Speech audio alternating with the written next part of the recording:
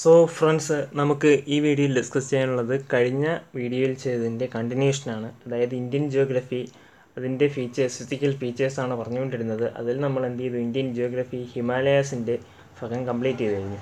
ഇനി ബാക്കി നമുക്ക് കുറച്ചുണ്ട്. എന്താണ്? നോർത്ത് ഇന്ത്യൻ പ്ലെയിൻസ് ഉണ്ട്. അതുപോലെ തന്നെ പ്ലേറ്റി ഉണ്ട് കോസ്റ്റൽ ഏരിയ ഉണ്ട് ഡെസേർട്ട് ഉണ്ട്. പിന്നെന്താണ് നമ്മുടെ ഈ ഐലൻഡ്സ് ഉണ്ട്. അപ്പോൾ ഇതെല്ലാം കൂടി ഈ ഒരു പാർട്ടിൽ പറയാൻ പറ്റുമെന്നാണ് തോന്നുന്നത്. സോ നമുക്ക് തുടങ്ങാം. അപ്പോൾ എന്താണ്? നമ്മൾ ഇനി പറയാൻ പോകുന്നത് ദി നോർത്ത് ഇന്ത്യൻ പ്ലെയിൻസിനെ പറ്റിയാണ്. ഇതിനെ പറ്റിയാണ് നോർത്ത് ഇന്ത്യൻ പ്ലെയിൻസ്. ഇതിനെ വേറൊരു പേര് നമുക്ക് പറയാം. എന്തോന്ന്? ഇൻഡോ ഗാൻജറ്റിക് ബ്രഹ്മപുത്ര പ്ലെയിൻ എന്ന് പറയാം. എന്താണ് Indo Gangetic Brahmaputra plain? Is the largest alluvial tract in the world അപ്പോൾ ഈ ഇൻഡോ ഗാൻജറ്റിക് ബ്രഹ്മപുത്ര പ്ലെയിൻ എന്താ തന്നെയാണ് അത്? തന്നെയാണ് നോർത്തേൺ പ്ലെയിൻസ് എന്ന് പറയുന്നത്. അല്ലെങ്കിൽ നമുക്ക് മലയാളത്തിൽ എന്തെന്ന് പറയാം അതിനെ? ഉത്തര മഹാസമതലങ്ങൾ എന്ന് പറയാം. എന്തെന്ന് പറയാം? ഉത്തര മഹാസമതലങ്ങൾ എന്ന് പറയാം. അപ്പോൾ ഇത് എങ്ങനെയാണ് ഫോം ചെയ്യുന്നത്? The northern plains are formed by the deposition of alluvium brought by the rivers Indus Ganga Brahmaputra along with their tributaries അപ്പോൾ ഇത് എന്തിന്റെയൊക്കെ അലൂവിയൽ ഡെപ്പോസിഷൻ വഴിയാണ്? ഗാഞ്ചസ് ഗാഞ്ചസും ഇൻഡസും ബ്രഹ്മപുത്രയും ഈ മൂന്ന് നദികളും അതിന്റെ ട്രിബ്യൂട്ടറീസും കൊണ്ടുവരുന്ന അലൂവിയൽ ഡെപ്പോസിഷൻ വന്ന് അടിഞ്ഞ് ഫോം ചെയ്ത ഒരു plain.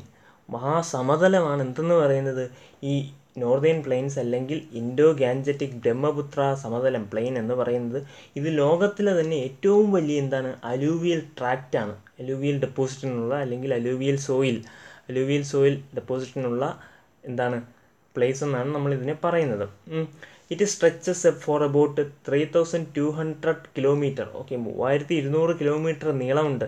From the no mouth of the Indus okay ഇൻഡസിന്റെ എന്താണ്? മൗത്ത് അല്ലെങ്കിൽ ഇൻഡസ് എവിടെ നിന്നാണ് ഉത്ഭവിക്കുന്നത്? അവിടെ തൊട്ട് to the mouth of the Ganga ഇൻഡസിന്റെയും ഗംഗയുടെയും ഉത്ഭവ സ്ഥാനങ്ങൾക്കിടയിൽ Indian sector of the plain account for എന്താണ്? രണ്ടായിരത്തി നാനൂറ് കിലോമീറ്റർ ഇപ്പോൾ രണ്ടായിരത്തി നാനൂറ് കിലോമീറ്റർ സ്ട്രെച്ചിൽ എന്തുണ്ട്? ഇന്ത്യയിൽ ഇതിന്റെ ഭാഗമുണ്ട്. ഇത് എവിടം തൊട്ട് എവിടം വരെയാണ്? ഇൻഡസിന്റെ ഒറിജിൻ പ്ലേസ് തൊട്ട് എന്താണ്? ഗംഗയുടെ ഒറിജിൻ പ്ലേസ് വരെയാണ്. അപ്പോൾ ഇതിനൊരു ബൗണ്ടറി ഉണ്ട്. ഇന്ത്യയിൽ ഒരു ബൗണ്ടറി ഉണ്ട്. എവിടെയാണത്? The northern boundary is well mark by the Shivaliks. Okay. Shivaliks. ശിവാലിക്കാണ് ഇതിന്റെ നോർത്തേൺ ബൗണ്ടറി എന്ന് പറയുന്നത്. അതുപോലെ തന്നെ എന്താണ്? സതേൺ ബൗണ്ടറി എന്ന് പറയുന്നത് എന്താണ്? Northern edge of peninsular India. Peninsular ഇന്ത്യയുടെ നോർത്തേൺ എഡ്ജ് ആണ്. സോ നമ്മൾ ഇങ്ങനെയാണ് ഇതിന്റെ ബൗണ്ടറി വരുന്നത്. എവിടെയാണ്? ശിവാലിക്സ് അല്ലേ? നോർത്തേൺ എഡ്ജ് എവിടെയാണ് വരുന്നത്? ശിവാലിക്സും സതേൺ എഡ്ജ് എവിടെയാണ്? നമ്മുടെ ഈ പെൻസിലാർ പ്ലേറ്റ്യൂവിന്റെ തുടക്കവുമാണ്. സോ അതാണ് എന്തെന്ന് പറയുന്നത്? ഈ നമ്മളീ പറയുന്ന നോർത്തേൺ പ്ലെയിൻസ് എന്ന് പറയുന്നത്. ഇനി എന്തുണ്ട്? ഈ നോർത്തേൺ പ്ലെയിൻസിനെ അവിടുത്തെ ഫിസിക്കൽ ഫീച്ചേഴ്സിന്റെ അടിസ്ഥാനത്തിൽ നമ്മൾ ഫോർ ആയിട്ട് ഡിവൈഡ് ചെയ്തിട്ടുണ്ട്. എത്രയായിട്ട് ഡിവൈഡ് ചെയ്തിട്ടുണ്ട്? ഫോർ ആയിട്ട് ഡിവൈഡ് ചെയ്തിട്ടുണ്ട്. അതിലൊന്നാണ് Bhabar B H A B A R Bhabar Terai T E R A Terai and Bhangar then Khadar. Okay ബാങ്കറും ഖാദറും ഒക്കെ നമ്മൾ കേട്ടിട്ടുണ്ട്. അപ്പോൾ ഈ നാലായിട്ട് എന്ത് ചെയ്തിട്ടുണ്ട്? ഡിവൈഡ് ചെയ്തിട്ടുണ്ട്. ഏതൊക്കെയാണത്? Bhabar Terai banker Khader.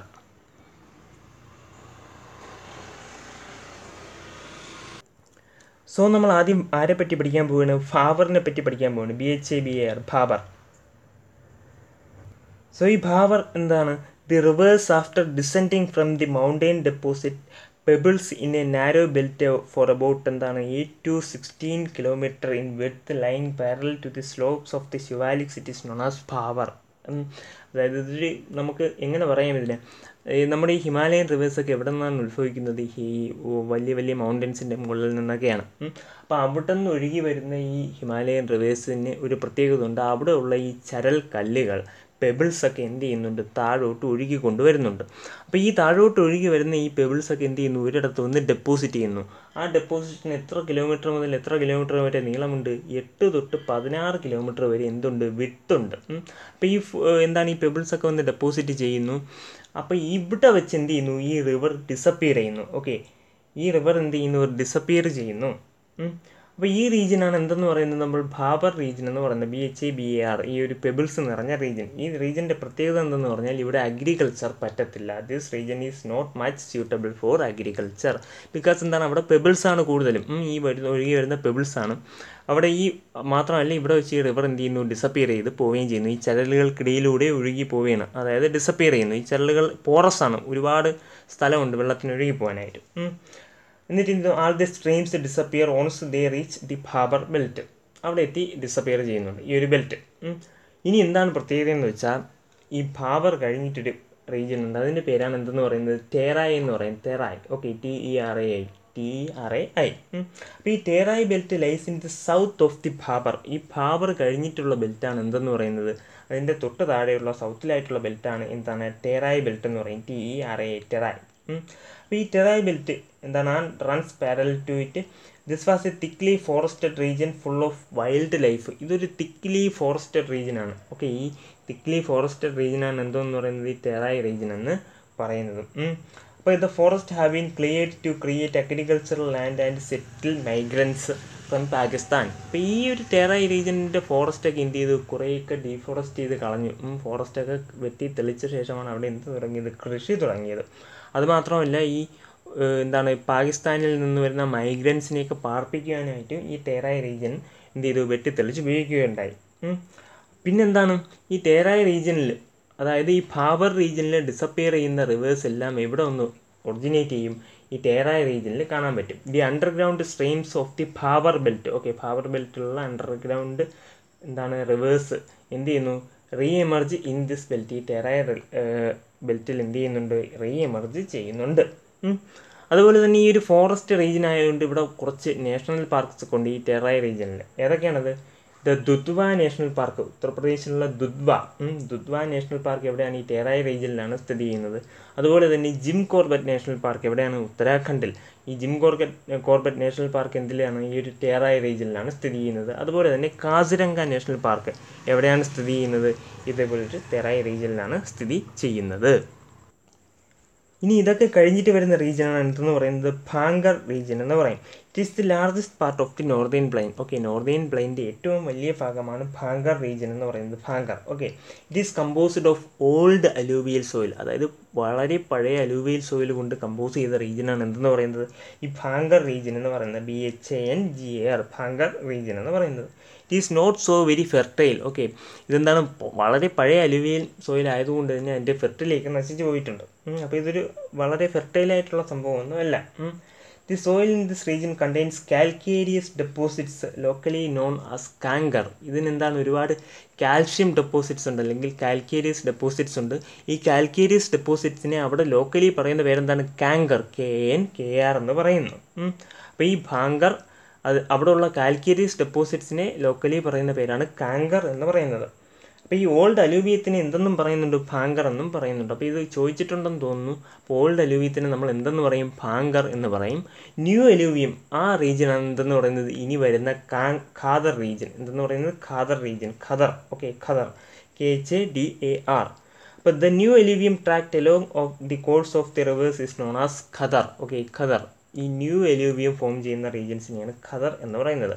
The Khadar tracts are enriched by fresh deposits of silt every year during the rainy season അപ്പോൾ ഈ റെയിനി സീസൺ ആകുമ്പോൾ ഒരുപാട് വെള്ളം വരുന്നുണ്ട്. അപ്പോൾ ഒരുപാട് അലൂവിയം ഡെപ്പോസിഷൻസ് വരുന്ന ഒരു റീജിയനാണ് എന്തെന്ന്? ഖദർ റീജിയൻ എന്ന് പറയുന്നത്. It is made up of new alluvium and fine granules okay new alluvium fine ഗ്രാന്യൂൾസും വഴിയാണ് എന്ത് ഡെപ്പോ ഈ ചെയ്തിരിക്കുന്നത്? ഇത് ഡെപ്പോസിറ്റ് ചെയ്തിരിക്കുന്നത്. അല്ലെങ്കിൽ ഇത് ഉണ്ടാക്കിയിരിക്കുന്നത് ഈ Khadar region it does not contain calcareous deposition അപ്പോൾ ഈ ഫാങ്കറിലുള്ള പോലെ കാൽക്കേരിയസ് ഡെപ്പോസിഷൻ എന്നും എന്തിലില്ല ഈ ഖാദറിൽ ഇല്ല. അപ്പോൾ ഈ ന്യൂ അലുവിയൽ സോയിലിന് നമ്മൾ പറയുന്ന പേരാണ് എന്തെന്ന് പറയുന്നത്? ഖാദർ എന്ന് പറയുന്നത്. അപ്പോൾ ഇതൊക്കെയാണ് എന്തെന്ന് പറയുന്നത്? നോർത്തേൺ പ്ലെയിൻസിലെ മെയിനായിട്ടുള്ള ഡിവിഷൻസ് എന്ന് പറയുന്നത്. ഓക്കെ സോ ഇനി നമ്മൾ പറയാൻ പോകുന്നത് എന്തിനെ പറ്റിയാണ് ദ പെനിൻസുലാർ പ്ലേറ്റ്യൂവിനെ പറ്റിയാണ്. ഓക്കെ പെനിൻസുലാർ പ്ലേറ്റ്യൂ അപ്പോൾ ഒരു ഇറഗുലർ ട്രയാങ്കുലാർ ഷേപ്പിലുള്ള ഇന്ത്യയിലെ ഒരു ലാൻഡ് ഫോമാണ് നമ്മൾ എന്തെന്ന് പറയുന്നത്? ദ പെനിൻസുലാർ പ്ലേറ്റ് എന്ന് പറയുന്നത്. The peninsular plate is a table land composed of old crystalline igneous and metamorphic rock അപ്പോൾ ഇന്ത്യയിലെ ഏറ്റവും സ്റ്റേബിളായിട്ടുള്ള അല്ലെങ്കിൽ ഏറ്റവും പഴയ ലാൻഡ് ഫോമാണ് എന്തെന്ന് പറയുന്നത് നമ്മൾ ഈ പറയുന്ന പെനിൻസുലാർ പ്ലേറ്റ് എന്ന് പറയുന്ന ഇത് എന്തുകൊണ്ടാണ് കൊണ്ടാണ് നിർമ്മിച്ചിരിക്കുന്നത്? ഇഗ്നിയസ് റോക്സും മെറ്റാമോർഫിക് റോക്സും ഒക്കെ കൊണ്ടാണ്. അതും വളരെ പഴയ ഇഗ്നിയസ് റോക്കും മെറ്റാമോർഫിക് റോക്സും കൊണ്ടാണ്. Okay it was formed due to the breaking and drifting of the Gondwana land and thus making it a part of the oldest land mass അപ്പോൾ ഇന്ത്യയിലെ ഏറ്റവും സ്റ്റേബിൾ ഏറ്റവും പഴയ ലാൻഡ് മാസ് ഏതാണ്? നമ്മുടെ ഈ പെനിൻസുലാർ പ്ലേറ്റ് ആണ്. ഇതെങ്ങനെയാണ് ഫോം ചെയ്തത്? അന്ന് ഈ Gondwana land okay Gondwana land പൊട്ടി അങ്ങനെയാണ് എന്ത് ചെയ്തത്? ഫോം ചെയ്തത്. Okay due to the breaking and drifting of Gondwana land അപ്പോൾ ഗോണ്ട്വാന ലാൻഡൊക്കെ നമുക്കറിയാം. ഗോണ്ട്വാന ലാൻഡ് ലൗറേഷ്യയും അതെന്താണ് ഈ ഈ കോണ്ടിനെന്റൽ ഡ്രിഫ്റ്റ് തിയറി ഓക്കെ അതൊക്കെ നമ്മൾ പഠിച്ചിട്ടുണ്ട് പ്ലേ ടെക്നോണിക്സ് അതൊക്കെ പിന്നീട് പറയാം. അപ്പോൾ ആ ഒരു ടൈമിലാണ് ഇത് എന്ത് ചെയ്തത് ഫോം ചെയ്തത്.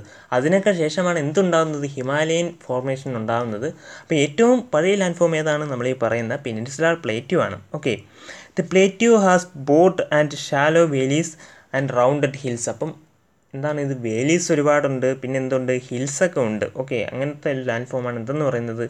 ഈ പെനിൻസുലാർ പ്ലേറ്റ്യൂ എന്ന് പറയുന്നത്. ഇനി ഈ പെൻസുലാർ പ്ലേറ്റിന് നമ്മൾ എന്തായിട്ട് തിരിച്ചിട്ടുണ്ട്? ദ സെൻട്രൽ ഹൈലാൻഡ്സ് എന്നും ഡെക്കാൻ പ്ലേറ്റ്യൂ എന്നും വെസ്റ്റേൺ ഗാഡ്സ് എന്നും ഈസ്റ്റേൺ ഗാഡ്സ് എന്നും ഒക്കെ നമ്മൾ എന്ത് ചെയ്തിട്ടുണ്ട്? ചെറുതായിട്ട് ചെറുതായിട്ട് ചെറിയ ഡിവിഷൻസ് ആയിട്ട് തിരിച്ചിട്ടുണ്ട്. ഓക്കെ. പിന്നെ എന്താണ്? ഈ ഡെക്കാൻ പ്ലേറ്റ്യൂ അതുപോലെ ഒരു വേറെ ഒരുപാട് പ്ലേറ്റ് ചേർന്നതാണ് നമ്മുടെ ഈ പെനിൻസുലാർ പ്ലേറ്റ് എന്ന് പറയുന്നത്. നമ്മൾ ഈ പറയുന്ന മാൾവ പ്ലേറ്റ് ഉണ്ട് ചോട്ടാനാഗ്പൂർ പ്ലേറ്റ് ഉണ്ട് എന്താണ് ബുന്ദേൽഖണ്ഡ് പ്ലേറ്റ് ഉണ്ട് ഭാഗ്യൽഖണ്ഡ് പ്ലേറ്റ് ഉണ്ട് ഹസാരിബാഗ് പ്ലേറ്റ് ഉണ്ട് ഡെക്കാൻ പ്ലേറ്റ് ഉണ്ട് മഹാരാഷ്ട്ര പ്ലേറ്റ് ഉണ്ട് ഇങ്ങനെ ഒരുപാട് കൊച്ചു കൊച്ചു പ്ലേറ്റ്യൂസ് ഓക്കെ ഒരു ഒരുപാട് കൊച്ചു കൊച്ചു പ്ലേറ്റ്യൂസ് അല്ലെങ്കിൽ പീഠഭൂമികൾ ചേർന്നാണ് നമ്മൾ ഈ പറയുന്ന വലിയ ഒരു പീഠഭൂമി രൂപീകരിക്കപ്പെട്ടിരിക്കുന്നത്. ഓക്കെ നമുക്ക് ആദ്യം എന്തിനെ പറ്റി പറയാം? ദ സെൻട്രൽ ഹൈലാൻഡ്സിനെ പറ്റി പറയാം. സെൻട്രൽ ഹൈലാൻഡ്സ് എന്ന് പറയുമ്പോൾ എവിടെയായിരിക്കും അത്? ഇന്ത്യയുടെ സെൻട്രലായിരിക്കും. Okay the part of the peninsular Plateau lying to the north of the Narmada river covering a major area and the Malwa plateau is known as central highlands അപ്പോൾ ഈ മാപ്പ് നോക്കുക. ഇന്ത്യയുടെ സെന്റർ ഓക്കെ ഈ മാൽവ പ്ലേറ്റ്യൂ ഈ Narmada river okay Narmada river flow ചെയ്യുന്നതൊക്കെ നമുക്കറിയാം. Okay ഇന്ത്യയെ രണ്ടായിട്ട് മുറിച്ചുകൊണ്ട് ഒഴുകുന്ന നദിയാണ് നർമ്മദ റിവർ ഈ നർമ്മദ റിവറിന് തൊട്ട് മുകളിലായിട്ടുള്ള ഈ മാൾവ പ്ലേറ്റ്യൂ ഒക്കെ ഇൻക്ലൂഡ് ചെയ്യുന്ന ഭാഗമാണ് എന്തെന്ന് പറയുന്നത്? നമ്മൾ ഈ പറയുന്ന സെൻട്രൽ ഹൈലാൻഡ്സ് എന്ന് പറയുന്നത്. The part of central highland which extends to the east of Malwa plateau is known as Bundelkhand okay Malwa പ്ലേറ്റ്യൂവിന്റെ ഈസ്റ്റിലോട്ട് പോകുന്നതിന് നമ്മൾ എന്തെന്ന് പറയുന്നു? ബുന്ദേൽഖണ്ഡ് എന്ന് പറയുന്നു. And is further followed by Baghelkhand and well known as Chota Nagpur ഇത് കഴിഞ്ഞിട്ട് അടുത്ത പ്ലേറ്റ് എന്താണ്? ഈ ഭാഗേൽഖണ്ഡ് ഓക്കെ ഇവിടെ എന്താണ് ഈ ഭാഗേൽഖണ്ഡ് ഓക്കെ ഭാഗേൽഖണ്ഡ് അല്ലെങ്കിൽ അതിന് വേറൊരു പേര് നമ്മൾ പറയും. എന്തെന്ന് പറയും? ചോട്ടാ നാഗ്പൂർ പ്ലേറ്റ്യൂ എന്ന് പറയും. അപ്പോൾ നമ്മളിവിടെ പറഞ്ഞ എന്താണ്? നർമ്മദ റിവർ. ഓക്കെ ഇവിടെ നർമ്മദ റിവർ ഫ്ലോ ചെയ്യുന്നു. അതിന്റെ മുകളിലായിട്ട് എന്തുണ്ട്? മാൾവ പ്ലേറ്റ് ഉണ്ട്. Okay Malwa plate. അത് കഴിഞ്ഞിട്ട് എന്തുണ്ട്? ഭാഗ്യയിൽ കണ്ട് ഭാഗ്യയിൽ കണ്ട് ബുന്ദേൽഖണ്ഡ് അല്ലെങ്കിൽ നമ്മൾ എന്ത് പറയും? ചോട്ടാനാഗ്പൂർ പ്ലേറ്റു എന്ന് പറയും. അപ്പോൾ ഈ ചോട്ടാനാഗ്പൂർ പ്ലേറ്റു അതായത് ഈ ജാർഖണ്ഡ് വരുന്ന ഈ ഒരു സൈറ്റ് ഈ ജാർഖണ്ഡ് വരുന്ന ഈ ചോട്ടാനാഗ്പൂർ പ്ലേറ്റു നമ്മൾ എന്തെന്ന് പറയുന്നു? The mineral heartland of India. എന്തെന്ന് പറയുന്നു? Mineral heartland of India. എന്തെന്ന് പറയുന്നു നമ്മൾ? മിനറൽ ഹാർട്ട്ലാൻഡ് ഓഫ് ഇന്ത്യ എന്ന് പറയുന്നു. നമുക്കറിയാം ഈ ജാർഖണ്ഡിലൊക്കെയാണ് എന്താണ് ഒരുപാട് മിനറൽസ് കുഴിച്ചെടുക്കുന്നത്. ഓക്കെ ഒരുപാട് എന്താണ് മൈൻസ് ഒക്കെ ഉള്ളത് കോൾ മൈൻസ് ഒക്കെ ഉള്ളത്. അതുകൊണ്ട് തന്നെ മിനറൽ ഹാർലാൻഡ് ഓഫ് ഇന്ത്യ എന്ന് പറയുന്നത് എന്തിനെയാണ്? Chota Nagpur പ്ലേറ്റിയാണ് okay Chota Nagpur plate lies in the states of Jharkhand West Bengal Odisha and Chhattisgarh. അപ്പോൾ ഇവിടെ നോക്കുക ജാർഖണ്ഡ് വെസ്റ്റ് ബംഗാൾ ഛത്തീസ്ഗഡ് ആൻഡ് ഒഡീഷ. അങ്ങനെ നാല് സ്റ്റേറ്റുകളിലായിട്ടാണ് ഈ ചോട്ടാ നാഗ്പൂർ പ്ലേറ്റ് സ്പ്രെഡ് ചെയ്ത് കിടക്കുന്നത്. ഓക്കെ. ഇനി അടുത്തെന്താണ്? ഈ ആരവല്ലി ഹിൽസൊക്കെ എന്തിന്റെ ഭാഗമാണ്? നമ്മുടെ ഈ പ്ലേറ്റ്യൂവിന്റെ ഭാഗമാണ്. എന്ത് പ്ലേറ്റ്യൂവിന്റെ ഭാഗമാണ് നമ്മൾ ഈ പറയുന്ന മാൾവ പ്ലേറ്റ്യൂവിന്റെ ഭാഗം? ആണ് നമ്മൾ ഈ പറയുന്നത് എന്താണ്? ഈ ആരവല്ലി ഹിൽ റേഞ്ചൊക്കെ. ഓക്കെ. അപ്പോൾ ഈ ആരവല്ലി ഹിൽ റേഞ്ചിലെ ഏറ്റവും വലിയ പർവതം ഏതാണ്? മൗണ്ട് ഗുരു ശിഖറാണ് എന്താണ്? മൗണ്ട് ഗുരു ശിഖറാണ് അതിന്റെ ഉയരം ആയിരത്തി എഴുന്നൂറ്റി ഇരുപത്തിരണ്ട് മീറ്ററാണ് എത്ര മീറ്ററാണ് ആയിരത്തി എഴുന്നൂറ്റി ഇരുപത്തിരണ്ട് മീറ്റർ അതുപോലെ തന്നെ ഈ ആരവല്ലി റേഞ്ചസ് എന്ത് മൗണ്ടൈനാണ് റെസിഡ്യൂൽ മൗണ്ടൈനാണ് എന്ത് മൗണ്ടൈനാണ് റെസിഡ്യൂൽ മൗണ്ടൈനാണ് ഓക്കെ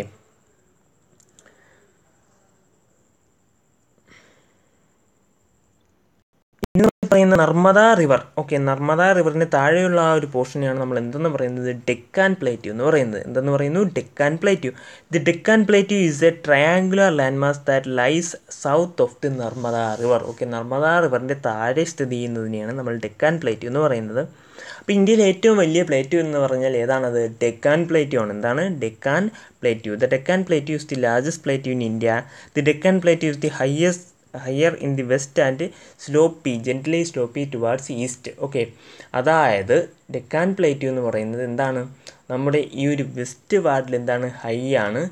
സ്ലോപ്പ് ആണ്. ഇങ്ങോട്ട് ഈസ്റ്റിലോട്ടാണ് അതുകൊണ്ടാണ് ഈ ഡെക്കാൻ പ്ലേറ്റ് നിന്ന് ഉത്ഭവിക്കുന്ന പ്രധാന നദികളെല്ലാം എങ്ങോട്ട് ഫ്ലോ ചെയ്യുന്നത് ഈസ്റ്റിലോട്ട് ഫ്ലോ ചെയ്യുന്നത്. ഓക്കെ പ്രധാന നദികൾ ഗോദാവരി ആയാലും കൃഷ്ണ ആയാലും കാവേരി ആയാലും നമ്മൾ ഈ പ്രധാന നദികൾ എല്ലാം എങ്ങോട്ടാണ് ഫ്ലോ ചെയ്യുന്നത് ഈസ്റ്റിലോട്ടാണ് ഫ്ലോ ചെയ്യുന്നത്. ഓക്കെ അതേസമയം വെസ്റ്റിലോട്ട് ഒഴുകുന്ന ഏറ്റവും നീളം കൂടിയ നദി ഏതാണ്? നർമ്മദയാണ് അത് ഒരു ഐറണിയാണ് അത് പോട്ടെ. അപ്പോൾ ഇവിടെ എന്താണ്? The Deccan plateau is higher in the west. West റീജിയനിൽ ഹയർ ആണ്. അതുപോലെ തന്നെ എന്താണ്? Sloppy gently towards east fats okay ഈസ്റ്റിലോട്ട് പോകുമ്പോൾ അതെന്താണ് സ്ലോപ്പിയുമാണ്. ഓക്കെ. അടുത്ത എന്താണ്? The Deccan plate is separated by a fault ഫ്രാക്സ്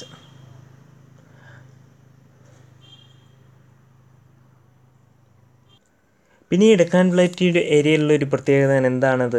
ആ ഡെക്കാൻ പ്ലേറ്റ് ഏരിയയിൽ ബ്ലാക്ക് സോയിൽ ഡെപ്പോസിറ്റൻ ഉണ്ട്. എന്തുണ്ട്? Black soil deposition the black soil area in the Deccan plate is known as Deccan trap അപ്പോൾ ഈ ബ്ലാക്ക് സോയിൽ ഡെപ്പോസിഷൻ കൂടുതലുള്ള ആ ഒരു സ്ഥലത്തിന് നമ്മൾ എന്തെന്ന് പറയുന്നു? ഡെക്കാൻ ട്രാപ്പ് എന്ന് പറയുന്നു.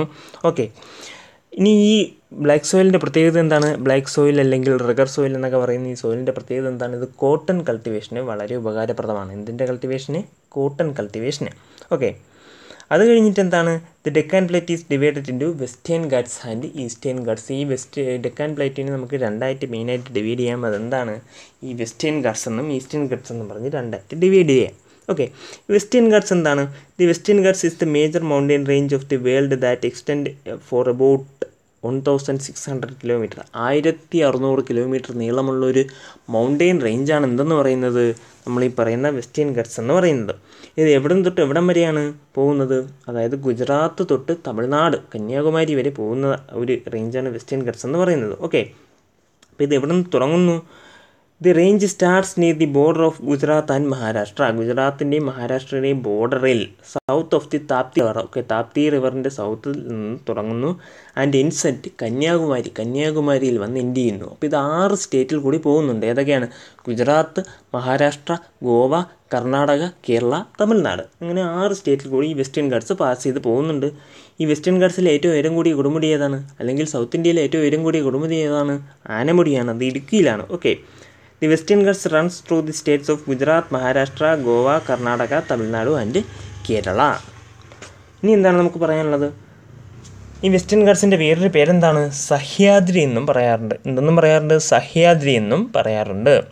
Southern portion includes Anamudi peak okay രണ്ടായിരത്തി അറുന്നൂറ്റി തൊണ്ണൂറ്റഞ്ച് കിലോമീറ്റർ നീളമുള്ള ആനമുടി പീക്ക് എന്തിലെ ഭാഗമാണ് വെസ്റ്റേൺ ഗഡ്സിന്റെ ഭാഗമാണ്.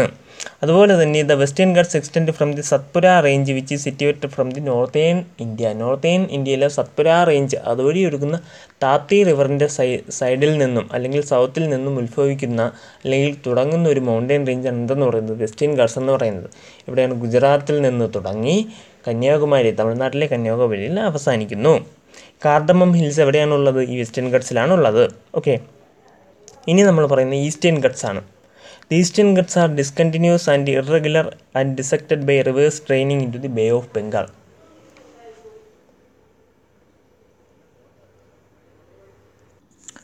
അപ്പോൾ നമ്മൾ ഈ പറഞ്ഞിട്ട് ഡിസ്കണ്ടിന്യൂസ് ആയിട്ടുള്ള ഒരു കണ്ടിന്യൂറ്റി ഇല്ലാത്തൊരു റേഞ്ചാണ് എന്തെന്ന് പറയുന്നത്? ഈസ്റ്റേൺ ഗട്ട്സ് എന്ന് പറയുന്നത്.